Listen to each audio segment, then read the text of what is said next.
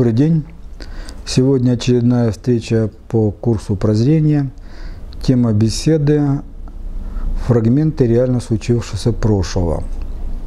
Название выбрано не случайно. То есть мы считаем, что реальная история – основная масса человечества, а это там 99 с хвостиком процентов населения, реальной истории просто не знают. Все исторические мифы, они являются отражением того, что реально случилось в прошлом. Степень приближения к тому, что реально происходило, может быть очень различная. В курсе прозрения мы точно также попытались предложить свою версию, свой исторический миф на глобальный исторический процесс – то есть глобальный исторический процесс, что происходило, можно описывать с разной степенью детальности. И в учебном курсе мы предложили свой исторический миф. Действительно сильно обобщенный и с позиции достаточно общей теории управления. То есть мы исторический миф рассмотрели с позиции того, что есть человеческая популяция – у нее есть управление, есть иерархически высшее объемлющее управление или в религиозной терминологии Бог, который не безучастен тому, что происходит в биосфере планеты Земля, и он каким-то образом воздействует на биосферу. В отношении человеческой популяции у Бога есть свой план. Называется он Божий промысел – и вот согласно этого плана человеческая популяция и развивается. А глобальный исторический процесс – это результат взаимодействия управления собственной популяцией и воздействия иерархически высшего объемлющего управления. Действительно, в учебном курсе в главе культурология, рассматривая типы цивилизаций, какие может построить человеческая популяция, мы указывали три – технократические, технологические и биологические. На тот момент, когда формировался учебный курс, когда он писался, это практически 10 лет тому назад, то мы стояли на позиции, что биологическая цивилизация – это наша будущая цель. То есть мы должны построить как идеал взвешенности, балансированности, вписанности в биосферу, биологический тип цивилизации. Но за прошедшие 10 лет выяснилось в результате наблюдения за различными объединениями вегетарианцев, сыроедов, различных ведистов, эзотериков, изучение опытов по моржеванию, технологии, предложенные Порфирием Ивановым, технологии закаливания детка. Вот все это осмысляя и рассматривая опыт людей, которые этим занялись серьезно и какое-то достаточно длительное время пытались жить соответствующим образом. Точка зрения на то, что было в золотом веке человечества, в биологической цивилизации, изменилась. То есть, скорее всего, что жизнь в Эдемском саду, в раю, когда все готовое давала природа, не нужно было заниматься производством, возможно, но при условии, что доминирующий тип строя психики был животный – и, соответственно, человеческая популяция была вписана в природные циклы.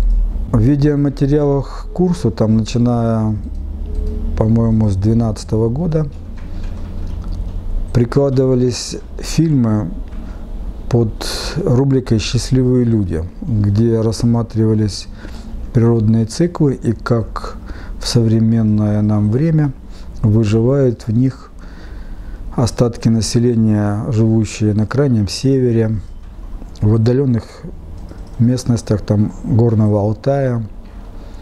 И вот знакомство с жизнью этих людей показывает, что жить в природном цикле для человека достаточно тяжело. То есть, ну, представьте себе жизнь без отпуска, без выходных. Да, понятно, что цикл сам по себе здоров. Но есть здоровье, которое как бы получается в результате вынужденного следования каким-то правилам. Ну вот в частности, подтянутость, поджарость можно обеспечить сокращением потребляемой пищи. То есть человек, не имея возможности переесть или есть то, что ему нравится, может выглядеть и вести вполне как бы здоровый образ жизни. Но это вынужденная мера.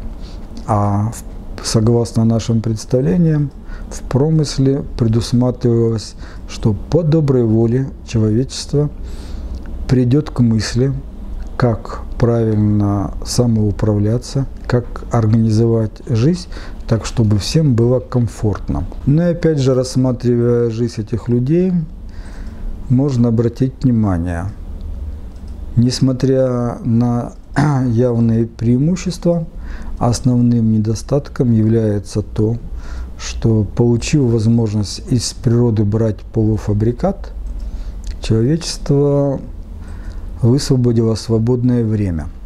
И вот это свободное время, оно направило на развитие творческого потенциала. И этот творческий потенциал в этих природных циклах подавляющему большинству жителей недоступен, поскольку они не знают, куда его применить. Как правило, свободное время они тратят на отдых, то есть на досуг. Досуг у животных предусмотрен естественным образом, то есть они либо играют, либо отдыхают, спят. Заниматься постоянно играми представители человеческой популяции почему-то не желают. Спать, ну, тоже больше не, выспишься, чем можно, так сказать, себе позволить согласно биологической норме. И вот это свободное время, его наличие, нереализованность, она подталкивает человека заниматься личностным саморазвитием. И вся проблема этих территорий в том, что нет возможности этот потенциал развивать. То есть нет сферы приложения, нет соответствующей инфраструктуры.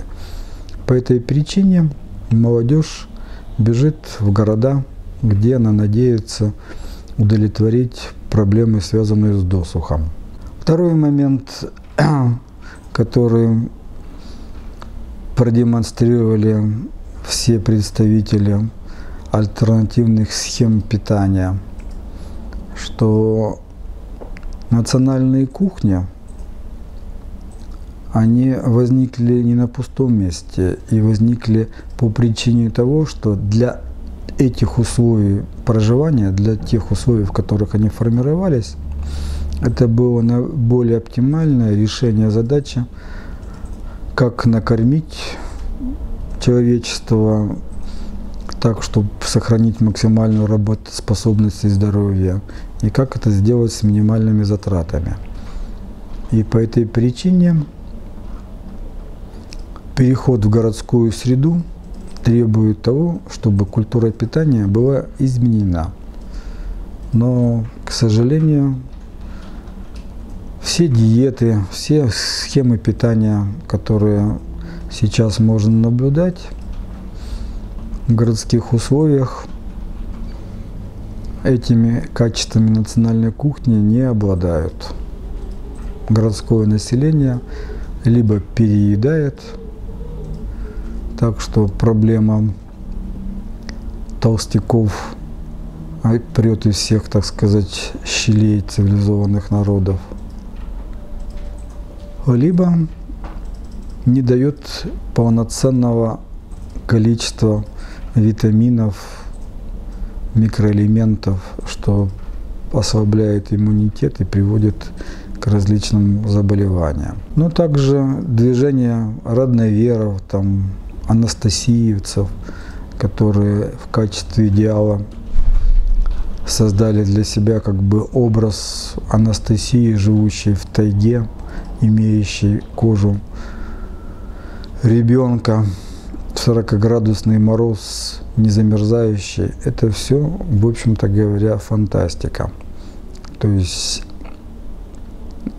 нет возможности проблему в суровом климате решить так, как это нафантазировал Мигре. Если посмотреть на животных, то по большому счету есть два множества путей решения этой проблемы.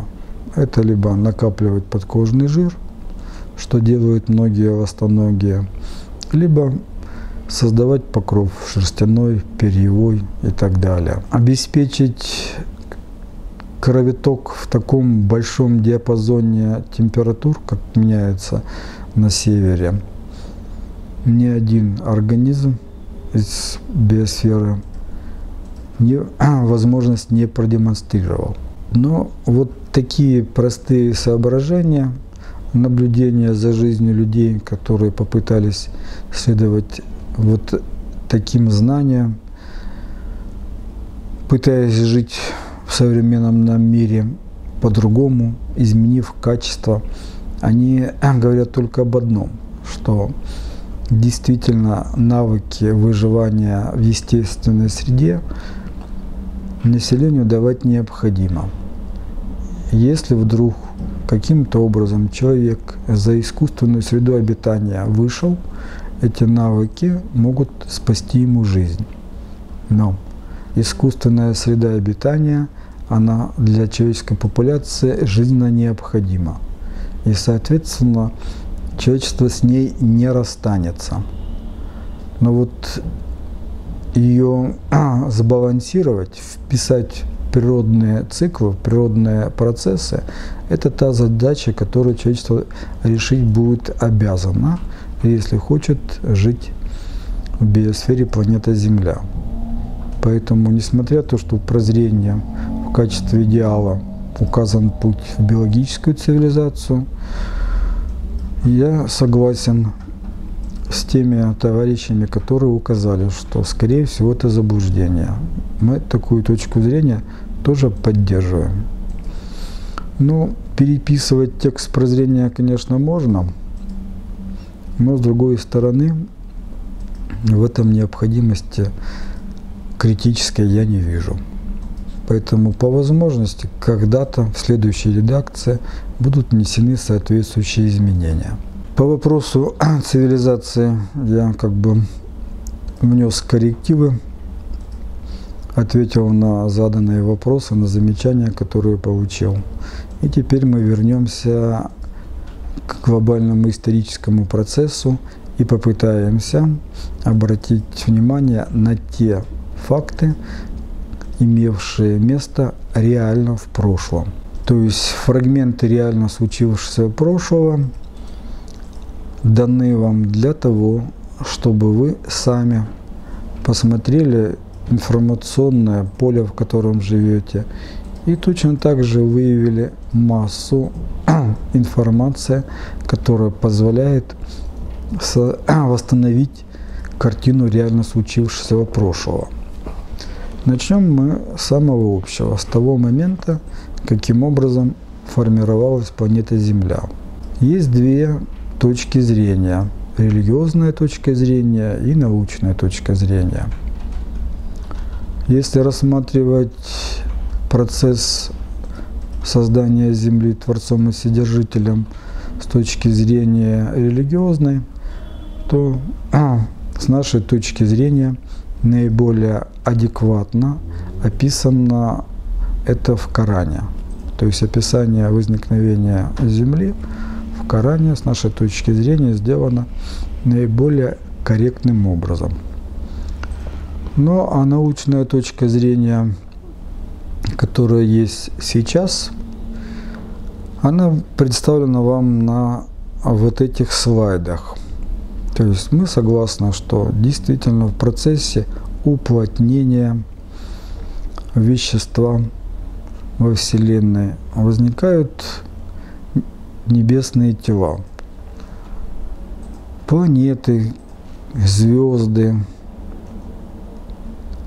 различная космическая пыль, которая присутствует, она имеет свойство собираться в одно место.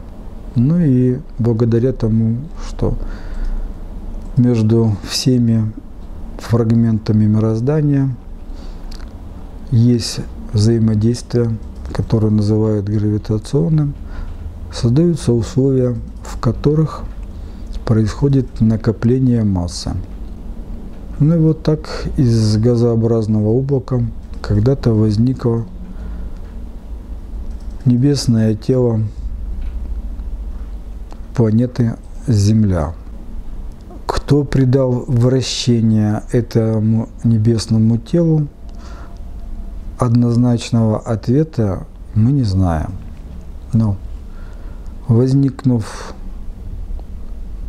Земля характеризовалась, и это является очень важным ее свойством, определенными параметрами движения. То есть мироздание динамично, и планета Земля эту динамику демонстрирует. Многие авторы считают, что параметры движения на протяжении развития планеты Земля неоднократно менялись. Возразить что-либо против этого, нечего возразить против этого, действительно они могли меняться. Вопрос как? Ну вот есть предположение, что по мере того, как на планете Земля возникала биосфера и появились живые организмы, то поначалу по отношению к эклиптике наклона земной оси не было. Соответственно, это привело к тому, что инсоляция от Солнца наиболее сильно выражена была в районе экватора и потихонечку сходила на нет в районе полюсов. По мере того, как росло многообразие живых организмов, то населенный слой перенаселялся. Ну и понимая, что эту проблему надо как-то решить, было найдено инженерное решение. Любой живой организм нуждается периодически в отдыхе. То есть живые организмы бывают в двух состояниях. То есть когда они активно действуют и когда они отдыхают, подготовляясь к следующему циклу действия. Вот учитывая это качество, было принято, надо полагать Богом, решение о том, что наклонив ось вращения по отношению к эклиптике, нужно получить эффект, когда инсоляция изменяется по мере движения по орбите при вращении вокруг Солнца.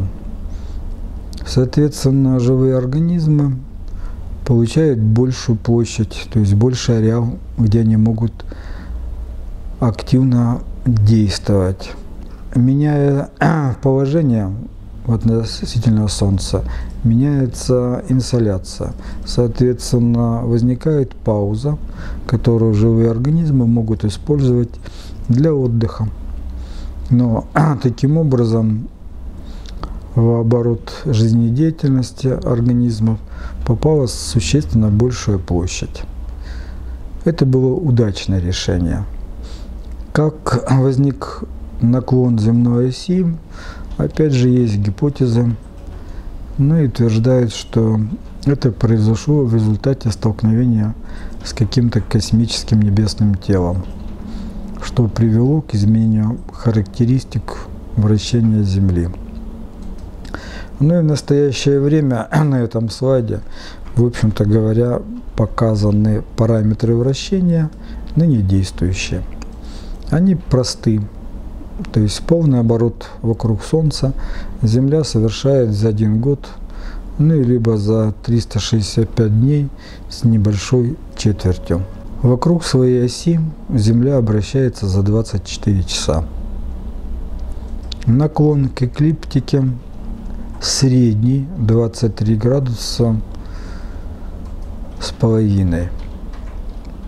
От этого положения земная ось имеет возможность слегка отклоняться. Угол этого отклонения 2 градуса 42 секунды.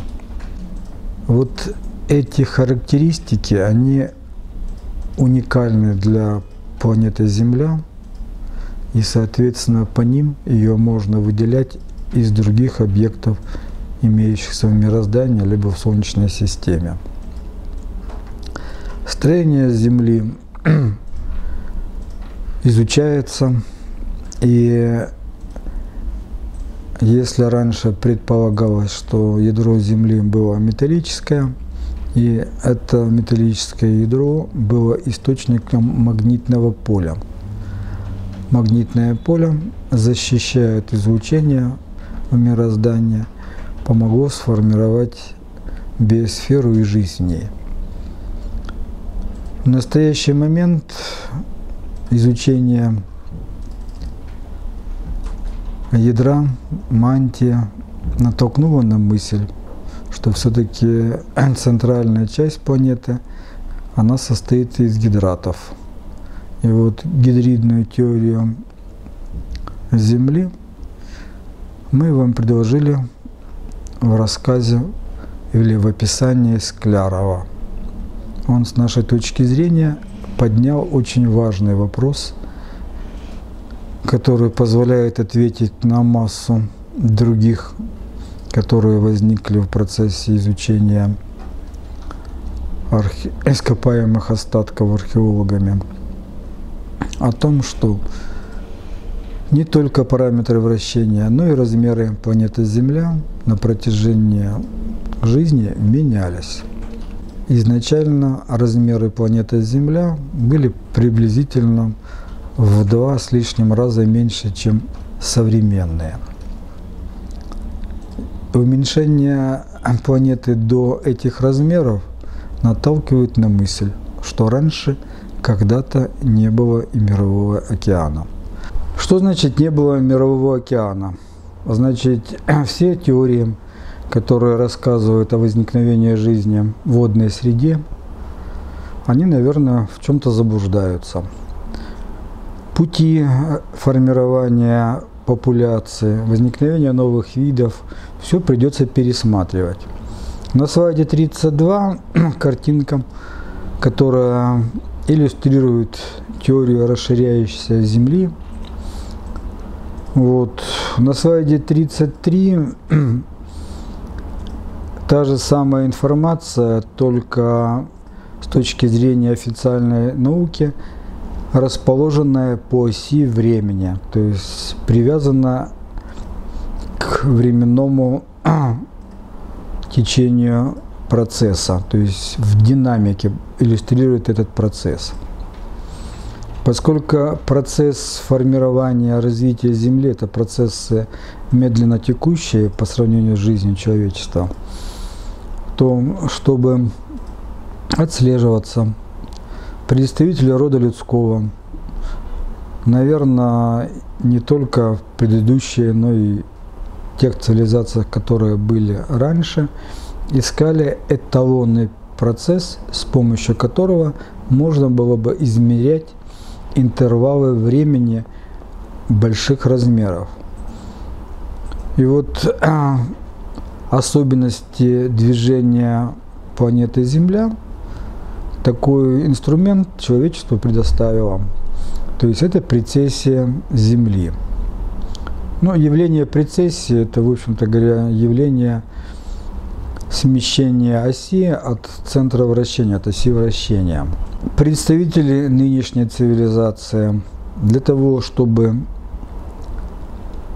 наблюдать медленно текущие процессы, очень длительные, на Земле построили механизм, образно говоря, часы, с помощью которого можно было измерять эти интервалы времени, используя явление прецессия и получила название это явление прецессия равноденствия. Прецессия равноденствия, то есть смещение оси вращения относительно некоторого центра, наблюдается, наблюдается по восходу Солнца в день весеннего равноденствия. И вот это смещение фиксирует по зодиакальным созвездиям. Соответственно, цикл прецессии для планеты Земля 26 тысяч лет. Но в связи с тем, что полный цикл прецессии оси отличается от прецессии равноденствия, то есть цикл прецессии составляет приблизительно 41 тысячу лет, то изобразить в виде слайда, передать эту информацию, возникает ряд сложностей. Все годы, пока мы общаемся с читателями прозрения, каждый год возникают одни и те же вопросы – связанные с тем, что объяснить механизм процессии, передать эту информацию в виде слайда, то есть плотно упакованного информационного файла, идеального до сих пор не создано. То есть все наши попытки сделать этот слайд всегда вызывают замечания Некоторые замечания действительно существенны, и мы над ними пытаемся работать. Но ничего пока лучшего, чем тот слайд, который представлен сейчас, придумать не смогли. Если у вас есть варианты решения этой задачки, будем благодарны за предоставление данная информация. Почему мы начали с обобщающей информации по формированию Земли? Ну, во-первых, чтобы вы понимали, что процесс этот до сих пор однозначно не описан. То есть есть разные взгляды на то, каким образом формировалась планета Земля – Соответственно, картина прошлого, она, в общем-то, из себя представляет некоторые наши предположения. И смоделировать данный процесс каким образом никто не придумал. Мы ориентируемся с нашей точки зрения на наиболее вероятное описание, наиболее правильное описание – этого процесса. Поскольку в школьном курсе потихонечку геологию вытеснили из обязательных наук, вытеснили оттуда и астрономию, то, соответственно, вынуждены вспомнить азы наблюдения за звездным небом, поскольку нужно уметь измерять скорость течение процессов и уметь правильно ее отображать в картине мира. Ну и на следующих слайдах картинки, поясняющие, каким образом осуществляется наблюдение за движением звезд астрономами. В принципе, нам достаточно вот этих слайдов, вот этой простейшей информации, чтобы пояснить принципы наблюдения за небесными телами. Чтобы ввести в оборот, что такое небесная сфера, эклиптика, горизонт. И, соответственно, каким образом явление прецессии можно себе представить, как это происходит в мироздании. Все это делается для того, чтобы было понятно, как явление прецессии равноденствий, то есть восход Солнца, день весеннего равноденствия в зодиакальном созвездии позволяет отсчитывать большие интервалы времени. Ну и на последнем слайде из цикла астрономических как раз вот этот механизм в виде часов и представлю. Соответственно, пирамиды в Гизе, фигура сфинкса, как циферблат, они указывают на какое-то временное событие, которое для популяции человечества было крайне важно. Представьте себе ситуацию после очередной глобальной катастрофы. Человечество вдруг задумалось о том, как оно жило, почему случился этот катаклизм, до чего-то додумалось и решило эту информацию передать своим потомкам. Но поскольку основная масса населения погибла, погибли производственные мощности, то есть техносфера была разрушена, ресурсов для решения этой задачи немного. Каким образом передать будущим поколениям, которые неизвестно когда еще разовьются до этого уровня понимания, эту информацию. И вот случайно уцелевшие представители предыдущей цивилизации остатки своих ресурсов решили потратить на то, чтобы до нас донести информацию об опыте жизни предыдущей цивилизации. Естественно, что это были не только сооружения на плато Гизы, пирамиды, были и другие артефакты. Ну и вот рассмотрению всех этих артефактов мы уделим особое внимание. Предварительно хочу обратить ваше внимание на сложность данного вопроса. Она обуславливается тем, что геологические слои накапливаются с течением времени. Популяции, цивилизации, живущие на планете Земля, в этих слоях в результате своей жизнедеятельности оставляют какие-то следы. То, что они считают неважное, не главное, к нему соответствующее отношение.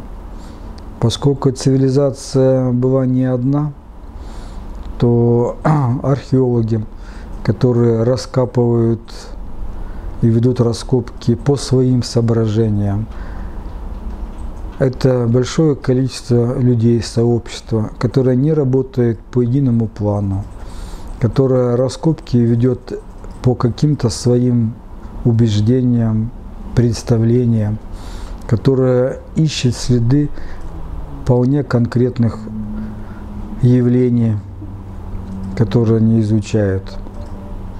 Оно, соответственно, накладывает отпечаток на сбор вот этих артефактов. То есть артефакты, которые не выделены в данном случае интересом к ним, они попадают либо в отвалы, либо в запасники. Последующие поколения, которые заинтересовались другой проблемой, вынуждены мимо этих артефактов проходить. Есть, конечно, вероятность, что исследователь пойдет в запасники и поиск начнет оттуда. Но, как показывает практика жизни, все стремятся в поле и, соответственно, заново что-нибудь раскапывать. Поэтому среди артефактов, которые циркулируют в этой среде, нет взаимоупорядоченности, нет взаимосвязей, установленных однозначно – мы попытались наиболее значимые с нашей точки зрения артефакты упорядочить, то есть привязать их к временной шкале и выстроить какую-то более-менее логичную, стройную картину, каким образом, во-первых, развивалась планета Земля, каким образом человечество, постигнув какие-то истинные тайны, пыталось их передать последующим поколениям путем создания памятников, описаний, всего прочего. Ну и вот на последующих слайдах будет вам представлена наша версия послания, какое передали нам цивилизаторы. Ну, либо люди, которые уцелели в глобальном катастрофе и нашли в себе силы, чтобы свои знания, свои, свой опыт попытаться передать будущим поколениям. Первый и самый важный аспект этого знания современные ученые выявили. То есть они установили, что развитие на планете Земля происходит циклично, скачкообразно, то есть путем цепочек катастроф. То есть изменение условий жизни на планете Земля, оно происходит в виде катаклизмов. Эти катаклизмы приводят к тому, что видовой состав биосферы гибнет и возникает в археологических слоях плотности погибших организмов. И вот по этим, по изменению плотности остатков можно судить о том, что произошла катастрофа. Катастрофа оправдана, то есть она целесообразна, поскольку на планете Земля возникают новые виды, и им нужно жизненное пространство. Всему живому свойственна борьба за ресурсы, и поэтому представители предыдущих популяций, естественно, вновь возникшие, не пускают к ресурсам, то есть идет конкуренция. Так вот, катастрофа, уничтожив основную массу организмов, проживающих до нее, создает свободное поле, на котором конкурентные преимущества могут проявить как уцелевшие, представители уцелевших видов и представители вновь нарождающихся. И в этой конкурентной борьбе происходит заселение свободных территорий и формирование нового состава, имеется в виду состава популяции в биосфере. По мере по ходу жизни условия меняются, опять возникает необходимость в жизнедеятельности представителей других, но возникающих видов. Чтобы открыть им жизненный путь, нужна очередная катастрофа, которая это жизненное пространство расчистит. И, соответственно, в алгоритмике развития планеты Земля должен быть механизм, который эти катастрофы время от времени организует. Во главе фрагменты реально случившегося прошлого такие механизмы рассмотрены. Но а, механизм наиболее с нашей точки зрения вероятный, он связан с тем, что строение Земли в виде сфероида с твердой оболочкой и жидкой сердцевиной позволяет в результате движения и за счет неравномерности распределения массы время от времени эту твердую оболочку, то есть земную кору, смещать относительно центра планеты Земля.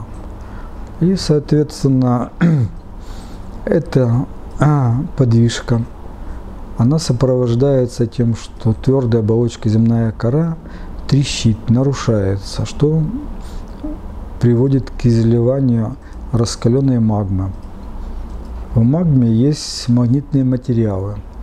И эти магнитные материалы, диполи, выстраиваются вдоль направления доминирующих линий силового магнитного поля. Остыв, эти массы, это направление сохраняют. Соответственно, геологи, изучая на поверхности Земля различные минералы, фиксирует в том числе и ориентацию относительно линии магнитного поля.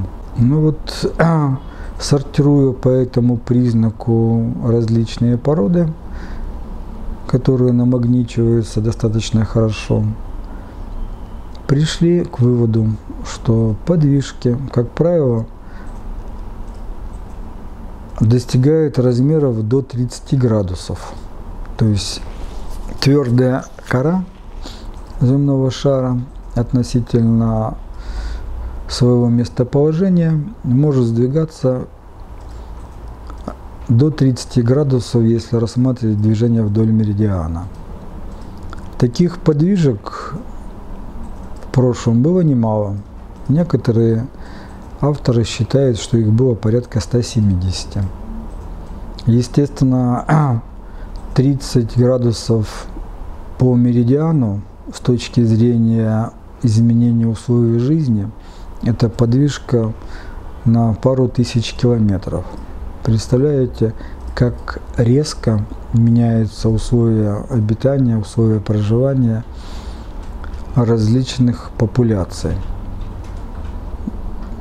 Помимо этого, вулканическая деятельность, возникающая, активизирующаяся при этом, она наверняка приводит к значительным выбросам вещества в атмосферу, что меняет условия инсоляции. Возникает эффект, похожий на ядерную зиму, то есть изменение температурного режима. Помимо этого, подвижка на 30 градусов, океаны, то есть жидкая жидкая фаза вещества, которое присутствует в силу инерционности, выбрасывается на сушу, на поверхность. И что такое цунами, его разрушительная сила, человечество может судить по тем цунами, которые довелось пережить нам за последнюю там, сотню-другую лет. Вот этот механизм, этот механизм вызван тем, что После ряда циклов расширения планеты Земля возникли океаны, и материки, расходясь в пространстве, попадали в различные условия. То есть зона наименее холодная, то есть зона полюсов, может приходиться на поверхность океана, а может приходиться на поверхность суши. Лед на суше накапливается, образуя ледник. И это приводит к тому, что распределение массы, как на колесе, вызывает биение. Ну и когда-то размер этих биений приводит к тому, что происходит проскальзывание коры относительно центра. Это вот один механизм, который заставляет время от времени менять видовой состав или позволяет менять видовой состав биосферы. Естественно, такое нарастание массы происходит достаточно медленно. Ну и в настоящий момент мы можем видеть, что на Южном полюсе идет нарастание ледника, то есть стекание суши ледников – меньше, чем идет накопление льда.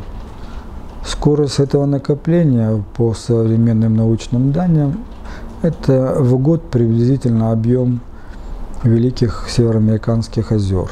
То есть это достаточно внушительная масса льда нарастает на Южном полюсе. Рано или поздно критическая масса приведет к тому, что произойдет проскальзывание – Другая группа ученых справедливо говорит, что изменение теплового режима может этот процесс либо затормозить, отодвинуть, либо ускорить. То есть разбалансировка теплового режима сбивает механизм катастроф циклически повторяющийся на поверхности планеты Земля. Это не единственный механизм, который в настоящий момент ученый мир обнаружил. Второй по значимости механизм связан с тем, что на поверхность планеты Земля время от времени падают небесные космические тела. В зависимости от массы этих тел могут возникать последствия, связанные не только с цунами, не только с активизацией вулканической деятельности, но и последствия, связанные с тем, что земная поверхность в очередной раз проскальзывает. Вот гипотезу, связанную с тем, что последняя катастрофа была обусловлена падением небесного тела, в главе фрагменты реально случившегося прошлого мы рассматриваем. Помимо этого явления, последние годы интенсивно идет обсуждение эффекта Жани Бекова. То есть, когда в космосе вращающееся тело опрокидывается. Работает этот эффект или не работает в отношении планеты Земля, у нас нет информации, позволяющей утверждать это вполне определенно. Но тем не менее вариант смены полюсов в результате эффекта Зангабекова на этом слайде представлен. Вся эта информация об алгоритмике движения Земли, о механизме катастроф, о спусковых крючках, которые запускают эти катастрофы. И самое главное, артефакты, которые оставили представители предыдущей цивилизации, в которых можно прочитать информацию об этих механизмах, наводят на мысль, что предыдущая цивилизация погибла в глобальной геофизической катастрофе. Представители уцелевших родов остатки ресурсов использовали на то, чтобы информацию о причинах катастрофы донести до будущих поколений. И мы в настоящий момент некоторые артефакты которые поддерживают эту гипотезу, с вами рассмотрим. На слайде 15 показан пояс мамонтов. То есть археологи раскапывают большое количество остатков крупных животных, как мамонт, и они весьма характерным образом расположены. Вот этот пояс – это преимущественное расположение, нахождение остатков мамонтов – выделена на рисунке красными линиями. И рассматривая эти красные линии, можно предположить, что при другом расположении поверхности относительно вращения земной оси северные области нашей Сибири, Эвенкия, были расположены на линии тропиков – Соответственно, там проживало большое количество теплолюбивых животных мамонт. Почему все ученые убеждены, что мамонт жил в теплом климате, поскольку неоднократно среди остатков пищи, которая хорошо сохранилась, Встречаются представители флоры, ныне живущие и прорастающие только в тропиках, ну, в частности, лотос. То есть представитель тропического ареала обитания. Второй момент, который наводит на мысль, что все-таки мамонты жили тропиках это продуктивность биоценоза. Мамонт слишком крупное растительное ядное животное, и ему очень много нужно растительной пищи для того, чтобы поддерживать собственную жизнедеятельность. Слон по размерам несколько уступающий мамонтам, прокормиться в Сибири, да не только в Сибири, а и южнее, не в состоянии. И не в состоянии, потому что он замерзнет. С этим как раз они неплохо справляются. А из отсутствия зеленой пищи, которая необходима для жизнедеятельности. Что могло сделать такую подвижку земной поверхности из наиболее вероятных событий, рассматривается вер версия удара небесного тела космического под углом на поверхность Земли. Ну и вот мы сторонники гипотезы о том, что нынешнее Филиппинское море – это след, который образовался после удара небесного тела, возник такой вот характерный кратер. Поскольку удар был с юго-востока под наклоном, соответственно, в этом направлении и произошло смещение – Земная кора твердая такой нагрузки не выдержала, поэтому возникла трещина, ныне известная как Мариинская впадина, как самое глубокое место в Тихом океане. Характер цунами, который тем или иным образом отобразился на поверхности, говорит о том, что Ледовитый океан выплеснулся на материк Евразия – на своем пути, соответственно, сгладил горы, горы Кольского скандинавского полуострова. Там действительно рельеф местности позволяет прийти к такому выводу.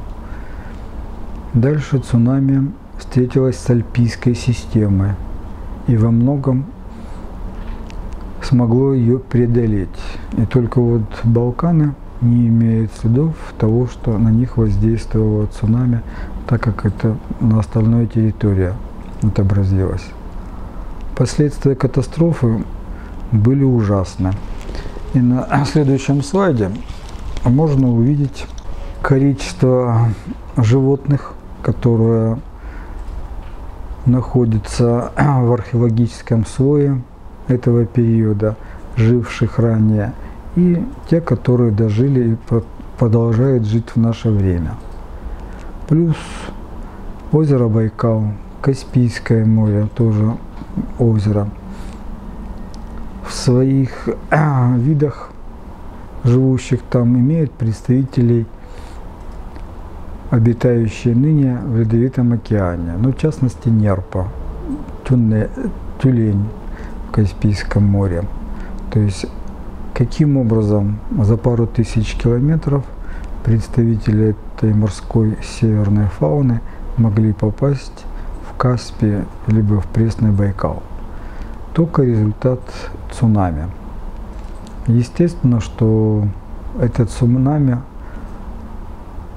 разрушило все, что было на территории, смыло все. Наверное, цунами было столь сильным, что на территории Китая плодородные слои, накопленные за предыдущее время, были смыты.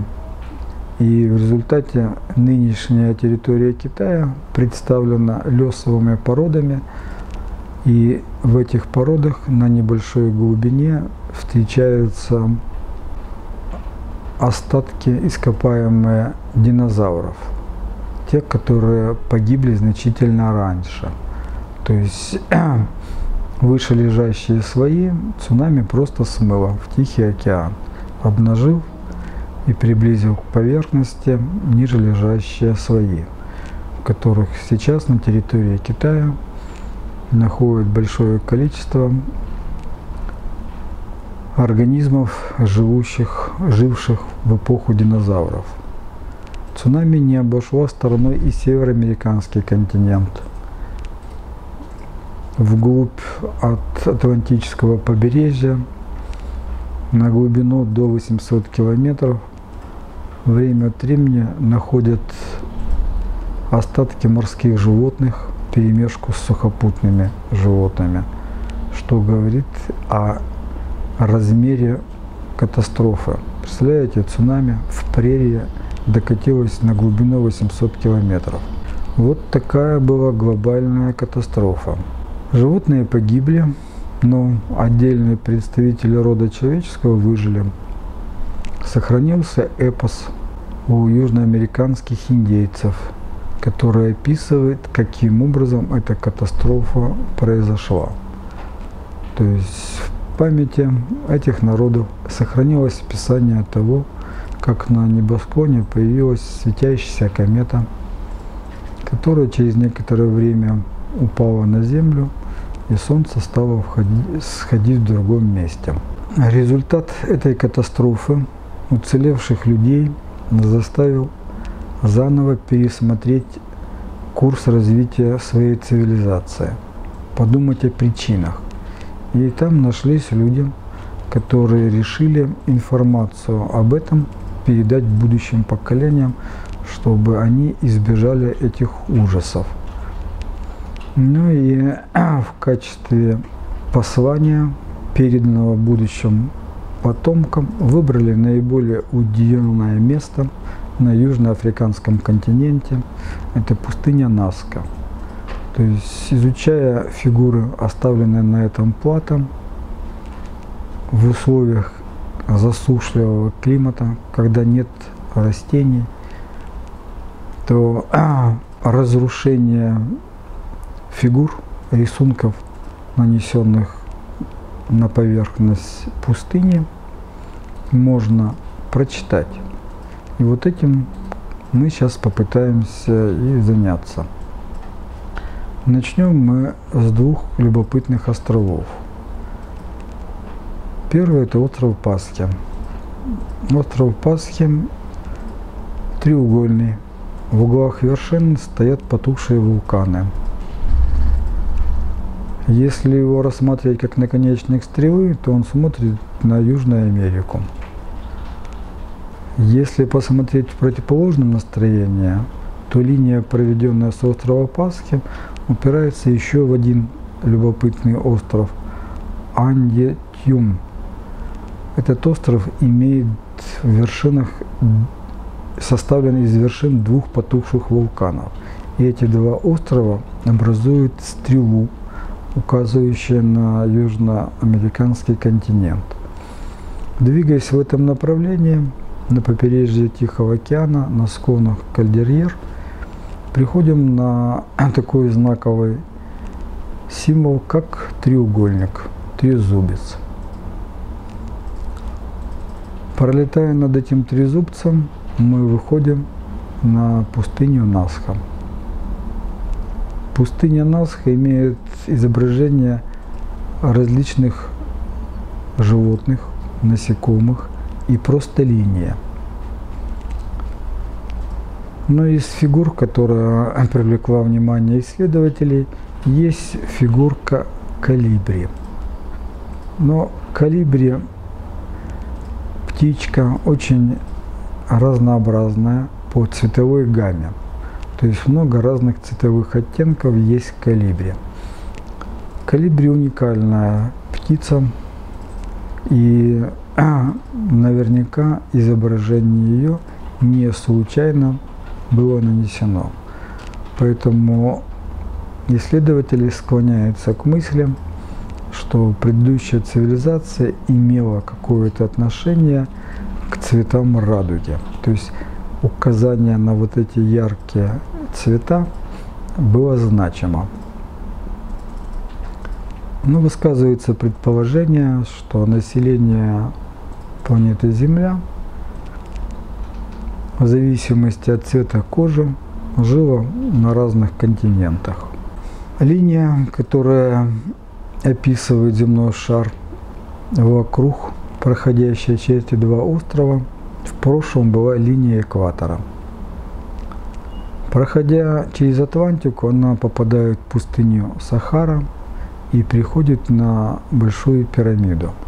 Если посмотреть на артефакты, которые остались на поверхности Земли вдоль этой линии, то можно обратить внимание на значимые с нашей точки зрения города. То есть, пройдя через два острова, пустыню Насха, комплекс в Южной Америке Сакса-Уйман, плата Тасиле.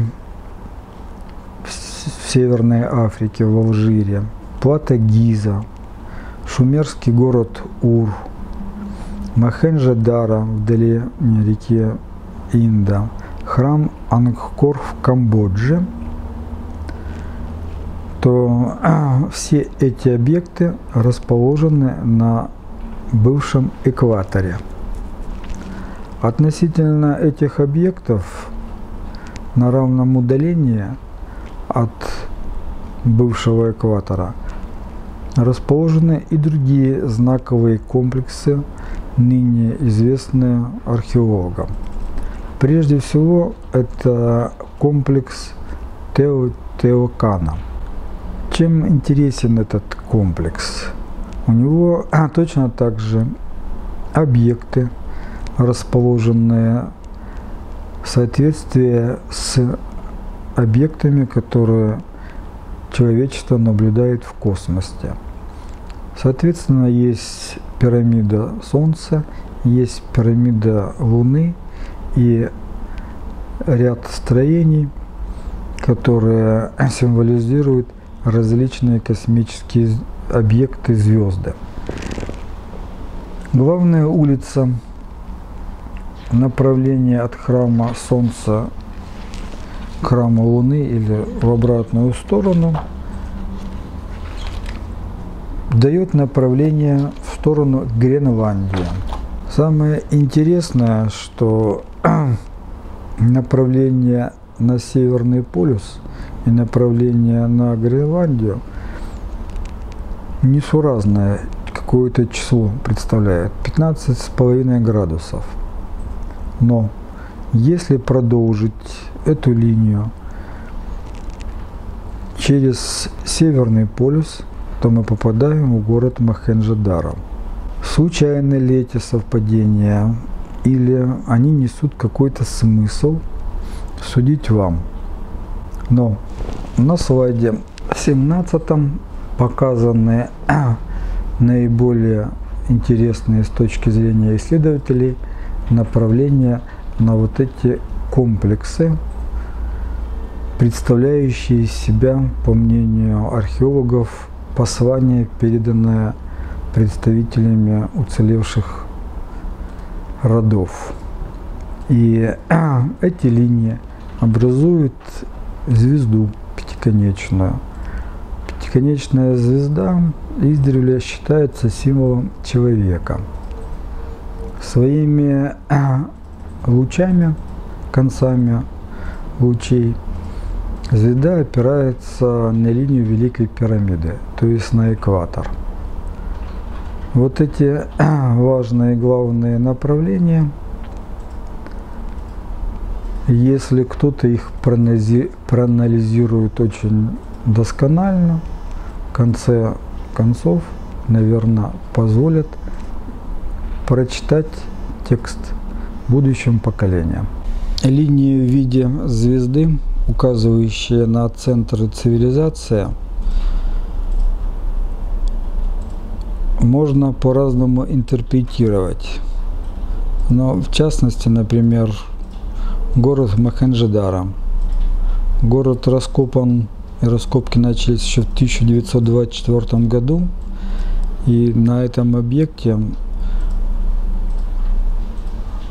обнаружили следы, которые приводят к мысли, что он погиб в результате воздействия аналогичного ядерному взрыву воздушному.